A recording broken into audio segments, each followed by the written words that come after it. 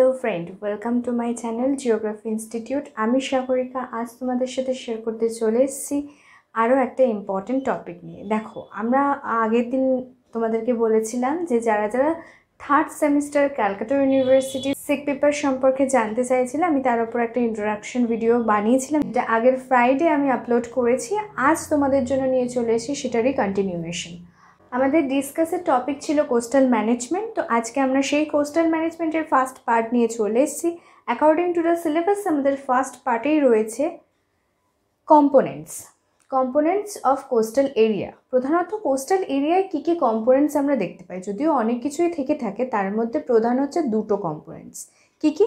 Number one হচ্ছে মহিষোপান, যাকে আমরা বলে থাকি কন্টিনেন্টাল সেলফ আর একটা হচ্ছে মহিঢাল, যাকে আমরা বলে থাকি কন্টিনেন্টাল স্লোপ চলো এবার এটা নিয়ে ডিটেল ডিসকাশনে চলে যাওয়া যাক। দেখো ফার্স্টেই তোমাদের বলে দিই, তোমরা সবাই সমুদ্র জানো, সৈকতও জানো। তো কি হয়, তোমরা নিশ্চয়ই জানো যে যে কোনো সমুদ্র যে সৈকত সৃষ্টি করে, সেটা কীভাবে হয়? যখন ভূমি ঢালু হয়ে জলতলের সঙ্গে মিশে যায়, তখনই সেখানে সৈকতের সৃষ্টি হয়।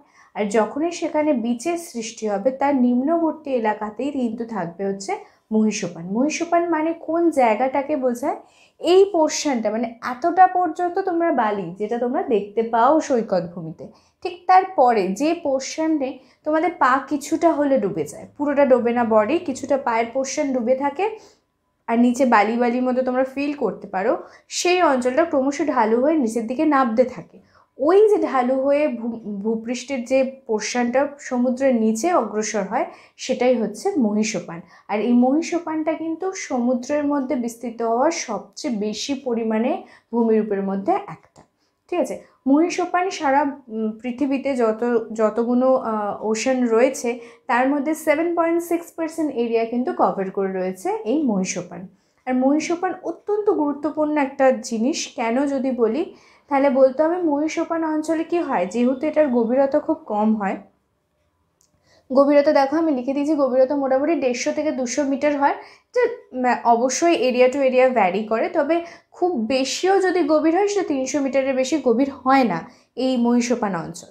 তো কী হয়, যেহেতু গভীরতা খুব কম, তাই এই অঞ্চলে সূর্যের আলো খুব ভালোভাবে পৌঁছতে পারে।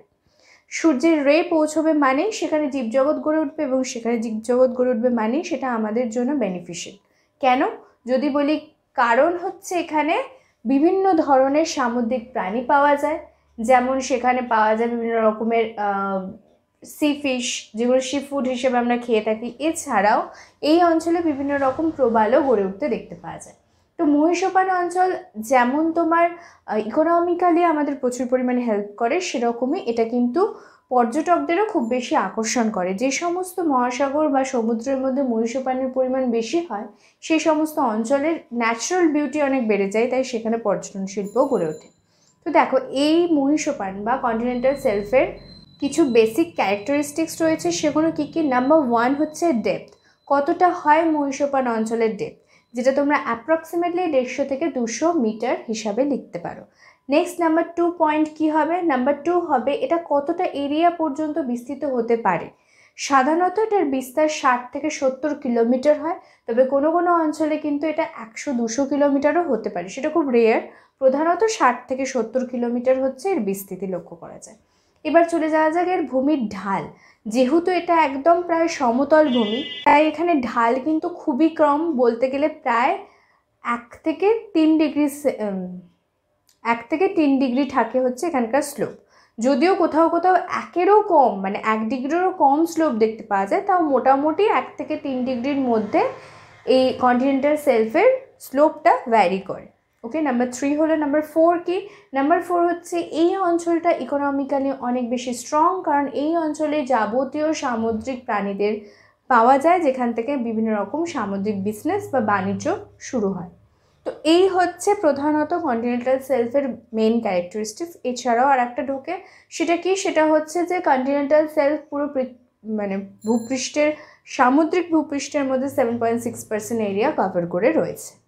এই হচ্ছে কন্টিনেন্টাল সেলফ মানে এই এরিয়াটা এই পার্টিকুলার এই এরিয়াটা হচ্ছে কন্টিনেন্টাল সেলফ এরিয়া এবার যেই আস্তে আস্তে ভূমিভাগটা নিচের দিকে এগিয়ে আসছে, যেটা একদম নিচে গিয়ে সামুদ্রিক যে সমভূমি অঞ্চল থাকে, গভীর সমুদ্রের যে সমভূমি সেটার সাথে মিশছে, সেই ঢালটা হচ্ছে আমাদের মহিঢাল। আর এই মহিডাল অঞ্চলটা কিন্তু তুলনামূলকভাবে অনেক বেশি স্ট্রিপ তোমরা দেখেই বুঝতে পারছ এই জায়গাটা অনেক বেশি খাড়া হয়। আর এই মহিঢাল যেখানে শেষ হয়ে যাচ্ছে, সেখানে কিন্তু আমাদের মহাদেশীয় ভূত্বকও শেষ হয়ে যাচ্ছে। তোমরা পড়েছো ভূপৃষ্ঠে দুটো অংশ হয়, একটা মহাদেশীয় ভূত্বক, একটা মহাসাগরীয় ভূত্বক যেটাকে মহাদেশীয় ভূত্বকটাকে যেটাকে আমরা বলে থাকি হচ্ছে শিয়ার আর মহাসাগরীয় ভূত্বক যেটাকে আমরা বলে থাকি সীমা।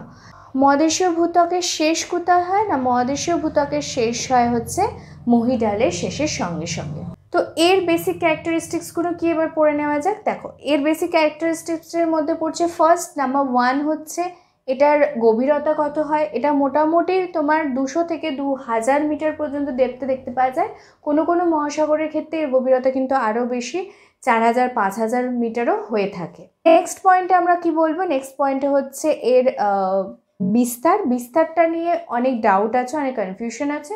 এটারও বিস্তার কিন্তু প্রায় হাজার থেকে দু হাজার কিলোমিটার পর্যন্ত হতে পারে। আবার কোথাও কোথাও সেটা খুব কম, পঞ্চাশ থেকে ষাট কিলোমিটারও হতে পারে। তো এটা অনেক ভ্যারিয়েবল বলে এটা সাধারণত দেওয়া হয় না। তবে বেশিরভাগ ক্ষেত্রেই কিন্তু এটা অনেক বেশি মানে প্রায় দু হাজার থেকে চার হাজার, পাঁচ হাজার কিলোমিটার পর্যন্ত এর গভীরতা লক্ষ্য করা যায়। এবার হচ্ছে নেক্সট পয়েন্ট মানে নাম্বার থার্ড কি? না স্লোপ কতটা ঢাল দেখতে পাওয়া যায়? মহিঢাল কিন্তু বুঝতেই পারছ যথেষ্ট খাড়া হয়। চার ডিগ্রি থেকে পাঁচ ডিগ্রি হচ্ছে সাধারণ মহিঢালের স্লোপের অ্যামাউন্ট কোথাও কোথাও এই মহিডাল পনেরো থেকে পঁচিশ ডিগ্রি পর্যন্ত হয়ে থাকে। মানে সেক্ষেত্রে কিন্তু ঢাল খুব খাড়া হয়। ডিরেক্ট যেখানে রেগু তট থাকে না, সেই সমস্ত অঞ্চলে কিন্তু এই ধরনের খাল বেশি দেখতে পাওয়া যায়। নেক্সট নাম্বার ফোর কি বলছে নাম্বার ফোর হচ্ছে কত পার্সেন্ট এরিয়া মহাসাগরের মধ্যে এটা কভার করে রয়েছে না? Three point five percent area মহাসাগরের মধ্যে এটা কভার করা রয়েছে এখানেও কিন্তু বিভিন্ন সামুদ্রিক প্রাণী দেখতে পাওয়া যায়, কিন্তু এটা গভীরতা বেশি হতে থাকে বলে এই অঞ্চলে সূর্য আলো সেভাবে পৌঁছতে পারে না। তাই সেভাবে ইকোনমিক্যালি ডেপথ অঞ্চল এটা নয়, তবে এই অঞ্চলে কিন্তু বিভিন্ন রকম মিনারেলস লক্ষ্য করা যায় সামুদ্রিক অঞ্চলে। আচ্ছা আর একটা তোমাদের গুরুত্বপূর্ণ জিনিস বলে দিই যে, এই যে কন্টিনেন্টাল সেলফ এরিয়া এই কন্টিনেন্টাল সেলফ এরিয়ায় কিন্তু আরও একটা জিনিস লক্ষ্য করা যায়, যে সমস্ত সাগর বা উপসাগরগুলো গড়ে ওঠে, যেমন লোহিত সাগর, আরব সাগর, বিভিন্ন রকমের যে সাগরগুলো, ছোট ছোট যে সাগর, চীন সাগর, ঠিক আছে? এই ধরনের যে সাগরগুলো গড়ে ওঠে, সেগুলো কিন্তু সবই প্রায় কন্টিনেন্টাল সেলফ এরিয়া গড়ে ওঠে। আর এই কন্টিনেন্টাল সেলফ এরিয়াতে কিন্তু অনেক রকম খাঁজ দেখতে পাওয়া যায়, যেগুলো থেকে বৈজ্ঞানিকরা ধারণা করেছেন যে একটা সময় এটা ভূপৃষ্ঠেরই অংশ থাকতো। কোনো কারণে অবনমিত হয়ে সেটা হতে পারে কোনো চুটির ফলে, হতে পারে কোনো ভূমিকম্পের ফলে অথবা কোনো প্রাকৃতিক শক্তির ক্ষয়ের ফলে, যেটা সমুদ্র, নদী, যে কোনো কিছু হতে পারে। দীর্ঘদিন ক্ষয়ের ফলে এটা অংশটা বসে যায়। এই যে বসে যাওয়া অংশটাই এটাই কিন্তু হচ্ছে মহিষপান অঞ্চল। এই মহিষোপান অঞ্চলেই কিন্তু পোতাশ্রয় গড়ে ওঠে। এই মহিষোপান অঞ্চল বেশি ভালো হলে সেখানে খুব সহজেই বন্দর গড়ে ওঠে। তাই মহিষোপান অঞ্চলটা কিন্তু আমাদের কোস্টাল এরিয়ার খুব ইম্পর্ট্যান্ট একটা পোর্শন যেখানে আমরা ইকোনমিক্যালি স্ট্রং হতে পারি। এই মহিষোপান অঞ্চল থাকার জন্য। আর কি রয়েছে? আর রয়েছে গভীর সমুদ্রের সমভূমি। এটা তোমরা সবাই জানো যে যে এরিয়াটা ফাইনালি আমরা ল্যান্ড করি মহাসাগরের নিচে, সেই এরিয়াটা পুরোটাই প্রায় সমতলভূমি কোথাও কোথাও খাদ দেখতে পাওয়া যায়, আবার কোথাও কোথাও এখানে শৈলশিরাও গড়ে উঠতে দেখতে পাওয়া যায়, কিন্তু সেটা পরিমাণে অনেক কম। সমুদ্রপক্ষে বিস্তারে সবচেয়ে বেশি পরিমাণে যে অঞ্চলটার কভার করে রয়েছে, সেটা কিন্তু সমভূমি অঞ্চল। ঠিক আছে, তো মোটামুটি তোমাদের যদি কোয়েশ্চেন আসে যে describe about the components of coastal area তাহলে কিন্তু তোমাদের মেনলি দুটো জিনিস বা দুটো টপিক নিয়ে আলোচনা করতে হবে। কী কী? নাম্বার ওয়ান হচ্ছে কন্টিনেন্টাল সেলফ আর নাম্বার টু হচ্ছে কন্টিনেন্টাল স্লোপ আর শুধুমাত্র লিখলে হবে না, এখানে কিন্তু তোমাদের কিছু স্টেপ মাথায় রাখতে হবে। প্রথমত হচ্ছে তোমরা যখন এটাকে স্টার্ট করছ, তখন ইন্ডিভিজুয়ালি দুটো চার্টের মাধ্যমে দেখিয়ে দেওয়া যে এই দুটো হচ্ছে এর কম্পোনেন্টস তারপরে হচ্ছে প্রতিটা কম্পোনেন্টসের ইন্ডিভিজুয়াল ক্যারেক্টারিস্টিক্স অ্যান্ড এক্সাম্পল দিতে হবে। আর একটা যেটা ইম্পর্টেন্ট পার্ট সেটা হচ্ছে অবশ্যই ডায়াগ্রাম দিতে কিন্তু ভুলবে না। ওকে আশা করছি তোমরা আজকে এই আমার টপিকটা বুঝতে পেরেছ। যদি ভিডিওটা ভালো লাগে, অবশ্যই লাইক শেয়ার কমেন্ট করতে ভুলো না। আর যারা এখনও পর্যন্ত আমার চ্যানেলটা সাবস্ক্রাইব করনি, অবশ্যই সাবস্ক্রাইব করে নিও। আর একটা ইম্পর্ট্যান্ট কথা বলি, যে অনেকেই জানতে চায় যে এই টপিকের ওপর আমরা কোন বই ফলো করব। তাহলে আমি তোমাদেরকে বলব যে দেখো, বই অনেক আছে, ঠিক আছে? ওশানোগ্রাফির ইভেন তোমাদের যে ওশানোগ্রাফি পোর্শনটা রয়েছে, সেই ওশানোগ্রাফিও কিন্তু এই জিনিসগুলোকে কভার করছে। তবে বর্তমান দিলে কোস্টাল রিজিয়নের ওপর অনেক, কোস্টাল ম্যানেজমেন্টের ওপর অনেক ভালো ভালো বই বেরিয়েছে। তার মধ্যে একটা আমি তোমাদের দেখাচ্ছি, দেখো। এই বইটা, গৌতম বেরা এবং এনার লেখা যে বইটা রয়েছে, এই বইটা যথেষ্ট ভালো। যদি তোমরা চাও এই বইটা ফলো করতে পারো। এছাড়াও ইংলিশে সেভেন স্ট্রিংয়ের বই তোমরা ফলো করতে পারো। তো আজকের জন্য এই পর্যন্তই। নেক্সট ভিডিওতে আমরা আবার আলোচনা করব কোস্টাল রিজিয়নের আরও একটা নতুন টপিক নিয়ে। ততক্ষণের জন্য সবাই ভালো থেকো বাই